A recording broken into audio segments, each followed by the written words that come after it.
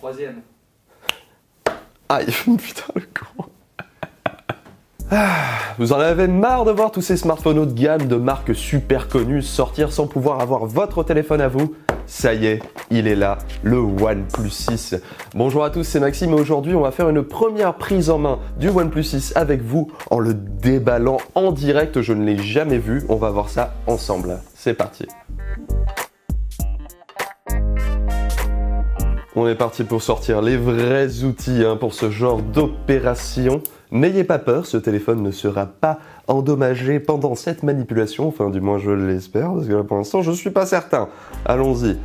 Comme vous pouvez le voir, hein, il y a toujours le petit film plastique dessus, on déconne vraiment zéro avec vous sur ce coup. Notons également que je suis la seule personne de ce bureau à ne pas avoir été pitché sur ce OnePlus 6, donc comme vous, je le découvre pour la première fois. J'ai évité aussi les images, etc. Je ne me suis pas vraiment euh, remis en tête. Donc la boîte hein, est assez euh, classique, hein. c'est une boîte blanche comme OnePlus a l'habitude de faire, avec des petites notes de rouge.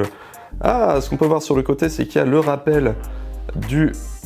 Il est plus dur que prévu. Voilà, du petit slogan The Speed You Need, qui devrait rappeler hein, justement le fait qu'il a des capacités euh, exceptionnelles, au-dessus d'une, au-dessus de la norme, bien sûr. Et voici enfin le OnePlus 6 qui ne veut pas sortir. Allez, sors mon bichon. Viens voir maman. Viens, viens. Oh, il est. Il veut, il veut vraiment pas sortir en fait. OnePlus déconne pas. Voilà. Hop là, enfin une première prise en main du OnePlus 6. Et effectivement, on peut voir qu'il y a la petite encoche en haut, on la verra ça un petit peu mieux en allumant le téléphone. Sur le côté, on retrouve l'alerte slider qui passe sur la droite cette année avec le petit bouton euh, de verrouillage. Ici sur le dos, vous avez le double capteur photo qui est bien centré euh, et qui est en positionnement vertical. On a ici euh, le capteur d'empreinte qui est tout petit et le petit logo en dessous avec euh, les informations assez classiques hein, sur, le, papier. Là, on a euh, la trappe pour la SIM, donc dual SIM, et les boutons de volume. Au-dessus, rien de très notable, hein, si ce n'est le micro de réduction de bruit. Et en dessous, la grille haut-parleur, le port USB type C et la prise jack. Mais voyons voir surtout enlever tous ces petits euh, petites plastiques là qui nous dérangent. Ah là, c'est bien mieux comme ça. On enlèvera ça aussi un petit peu plus tard. Ah, on peut voir qu'il y a une petite note maintenant ici. Design by OnePlus. On sent qu'ils en sont un minimum fiers quand même de leur nouvel appareil. Tant mieux pour eux. On va enlever ce petit filtre. Voilà, pour pouvoir apprécier un tout petit peu mieux les vraies courbes du téléphone. Ah, ça fait du bien quand on enlève tout ça, disons. Pour l'instant, on va le laisser de côté. On va regarder ce qu'il y a dans la boîte ensuite. Contenu de la boîte assez classique, hein, a le port, euh, le câble pardon, USB euh, type C rouge pour la dash charge et on a justement en parlant de dash charge le clac bloc d'alimentation donc le dash charge la recharge rapide de OnePlus qui est certifié hein, pour le moment la meilleure recharge rapide disponible à l'heure actuelle. On peut vous le dire, c'est clair qu'il n'y a pas mieux sur le marché actuellement. C'est celle qui recharge le plus vite et qui fait le moins chauffer le téléphone. Vraiment, vraiment excellente. il y a bien une petite nouveauté puisque OnePlus offre cette année, voilà, une protection, alors une protection en plastique euh, très euh, classique, hein, ma foi, enfin plastique mou euh, caoutchouc, mais qui devrait quand même permettre de bien protéger le téléphone au quotidien sans trop épaissir a priori son design. Non, ça va. Non, ça va. Pas trop mal, ma foi, pour une, pour une protection pardon, offerte avec le téléphone. On va pas trop trop se plaindre. Voilà. On va enlever le petit, euh, plastique merdouille, voilà. Hop, pas dégueu, ma foi. Mais pour mieux apprécier l'écran, je pense que ce qu'on va faire, c'est qu'on va tout simplement démarrer le téléphone, voir un peu ce qu'il se passe. Hop, on va enlever tout ça premier démarrage de ce OnePlus 6.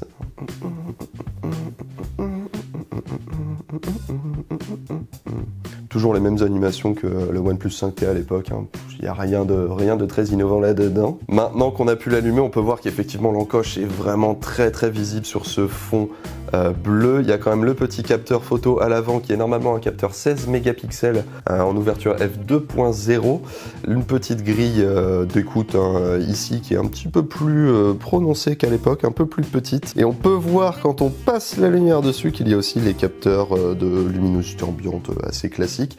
Mais les bords sont assez fins ma foi et surtout très très arrondi un peu euh, sur le style Pixel qu'a lancé en tout cas le Pixel 2 XL et aussi euh, LG à l'époque et qui est maintenant assez suivi sur pas mal de téléphones. La bordure euh, du bas est assez fine, plus fine en tout cas que ce qu'on peut voir actuellement sur beaucoup de smartphones Android haut de gamme.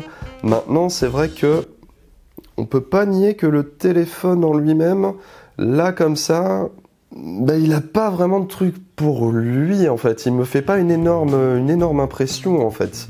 Si on prend euh, le OnePlus 5T ici, on sent qu'il y a quand même de l'évolution. si on allume les deux euh, sur le côté, on peut voir qu'effectivement les arrondis sont beaucoup plus prononcés. On peut voir que l'encoche n'y est pas, que les, les bordures sont beaucoup plus fines. Maintenant, euh, c'est le même format, c'est à peu près les, les mêmes sensations en main. Le, même si l'arrière est normalement en verre désormais, mais il n'a pas vraiment un feeling de verre, plus un feeling de, céramique, donc ça doit probablement être le matériau utilisé ici. Mais en fait, il n'y a pas de, très très grande différence finalement me fait pas un effet ouf ce téléphone. Alors maintenant c'est sûr l'affiche technique qu'il aura euh, l'occasion de se démarquer puisqu'il euh, dispose tout de même d'un Snapdragon 845 avec 6 ou 8 Go de RAM qui sont liés à 64 ou 128 Go de stockage. À l'arrière on a quand même un double capteur photo qui devrait être assez bon puisque c'est un capteur photo 16 euh, plus 20 mégapixels avec les deux objectifs qui ouvrent en f1.7 donc ça devrait avoir quand même de belles performances de nuit. On retrouve toujours euh, euh, le, scanner d'empreinte, euh, donc assez classique, mais toujours très bien de l'avoir sur les téléphones. Il hein. ne faut pas l'abandonner si vite que ça. L'alert slider qui est toujours là, qui a toujours été très très pratique sur les téléphones OnePlus. C'est vrai que quand on l'a, on a du mal à s'en Il, a l'air très bon, hein, attention. Hein, à l'utilisation, je pense que le fait que euh, OnePlus utilise Android le plus proche du stock possible va euh, faire en sorte de le rendre beaucoup plus attirant pour de nombreuses personnes. Mais c'est vrai que là, sur le design, je vous avoue très clairement que il ne me fait pas un très très grand effet. Maintenant, euh, le design, ça ne fait pas tout. On connaît les tarifs du téléphone à l'heure actuelle, à savoir que la version 6 Go de RAM et 64 Go de stockage sera vendue 519 euros, tandis que la version 8 Go 128 Go sera vendue 569 euros. À ce moment-là, effectivement, euh, OnePlus conserve quand même un petit avantage sur le prix, mais il y a énormément de concurrents désormais sur cet espace. Je pense notamment à Asus, qui avec son Zenfone 5Z se retrouve à peu près dans les mêmes prix et offre à peu près la même expérience. Donc il faudra faire attention cette année, mais le OnePlus 6 est désormais là. N'est plus besoin de l'imaginer, il est quand même plaisant en main, il est il n'est pas glissant en fait, c'est surtout ça, c'est malgré le fait euh, qu'il prenne le verre euh, désormais un petit peu partout comme, euh, comme matériel, il a toujours ce petit côté un petit peu, un petit peu poreux qui lui permet d'avoir une très bonne préhension, il est beaucoup plus arrondi que le modèle précédent, ce qui fait que forcément sa prise en main est beaucoup plus agréable puisqu'il est un peu moins tranchant. Donc on va voir sur un plus grand test, ça c'est Manu qui vous le fera, mais sur cette première prise en main, les impressions sont plutôt bonnes, mais on attendra de voir ce que ça donne de l'utiliser bien sûr au Bien sûr, on ne vous abandonne pas euh, comme ça sur le OnePlus 6, on a prévu énormément, énormément de choses pour vous. On a un speed test qui va arriver pour le comparer avec ses plus grands concurrents du marché, donc restez bien branchés sur la chaîne YouTube Frandroid. N'hésitez pas donc à vous abonner à la chaîne, à bien suivre le site Frandroid. Quant à moi, je vous fais des bisous et je vous dis à très bientôt sur Frandroid.